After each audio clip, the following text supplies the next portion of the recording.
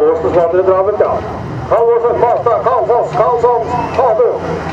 Hadu var Halvorsen begge har fulgt opp. Og det er Mastad som drar starten faktisk. Foran eh, Fadu, og så kommer Fadu. Mastad ikke han går på Christer Halvorsen utfor, og så blir det stand mot, så Christer Halvorsen forbi. Halfoss nummer fire. Sluttpleieren opp av på Nadaløen. Christer Halfors går rett inn i hånda til store. Samme gjør også Ronny Kalsfoss. Og Christer Halfors han kommer ut han bak ålen til eh, Carl Christian og Karlsson.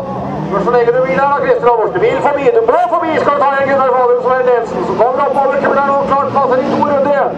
Det er Gunnar Fadum. Kim Mastad. Så kommer det mot Carl Christian Karlsson. Kom på begge og den som kommer i gang. Da går Christian Halvorsen veien. Halvorsen opp på trea. Fadum, har du så kalt som det går i nå? Det gjør du. Gunnar Fadum går i alternativsporet og har stor nok duket til å komme ut av foran Christer Halvorsen, og han gjør det! Gunnar Fadum gjør det, han! Og så kan Christian Kristiansson går inn i alternativen. Da er det bare Mastad som ikke har vært der. Gjør i alternativsporet nå. Christer Halvorsen er i ferd med å ta av Mastad. Og er forbi Mastad. Christer Halvorsen er på annenplass nå, men er du klar over det, Christer Halvorsen? At Fadum har vært der? Det er jeg ikke helt sikker på. Han ser ut til å være Gunnar Fadum.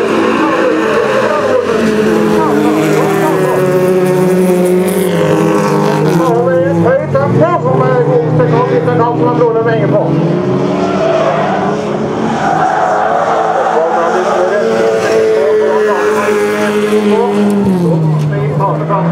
Kalfoss, Kalfoss opp på A3,